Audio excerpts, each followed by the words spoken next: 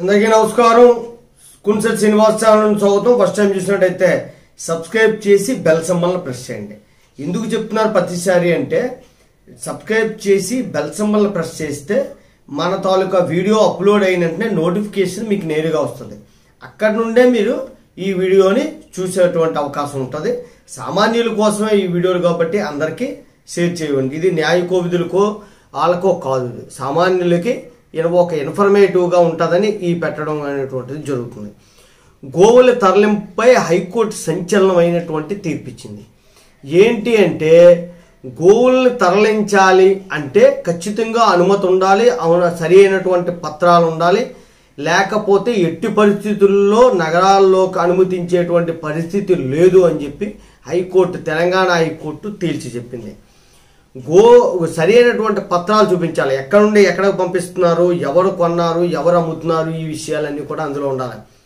పోలీసులతో పాటు గో సంరక్షకులకు సంబంధించినటువంటి వ్యక్తి కూడా అక్కడ ఆ వాహనాలని తనిఖీ చేసేటువంటి అధికారం ఇచ్చింది. అలాగే చెక్ పోస్టుల దగ్గర గో సంరక్షణకు కూడా ఉండే అటువంటి అవకాశాన్ని హైకోర్టు కల్పించింది. ఇదే మొట్టమొదటి తీర్పు అయి ఉండొచ్చు బహుశా.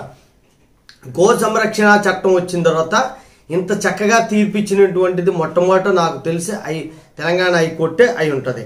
సరి అయిన పత్రాలు లేనటువంటి వాహనాలని ఇమీడియట్గా సీల్ చేయమ సీజ్ చేయమని చెప్పింది. గోవులను తరలించే తరలింపుపై పోలీసులు సమాచారం ఇవ్వాలి. గో సంరక్షణ అటువంటి సంస్థలు గో సంరక్షకులు ఉంటారు. వాళ్ళకి కూడా ఖచ్చితమైనటువంటి సమాచారం ఇవ్వాలని కూడా తెలిసి చెప్పింది. క్లియర్గా చెప్పింది.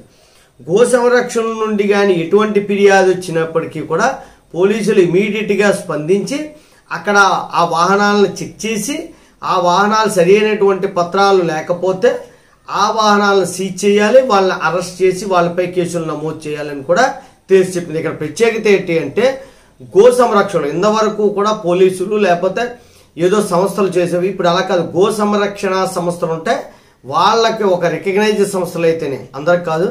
వాళ్ళ తాలూకా వ్యక్తులు ఎవరైతే ఉన్నారో వాళ్ళు చెక్ పోస్ట్ దగ్గర ఉండొచ్చు వాళ్ళు చెక్ చేయొచ్చు.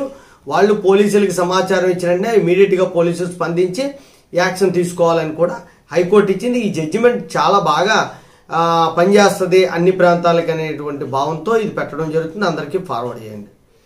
జై హింద్. భరతమాతాకి జై.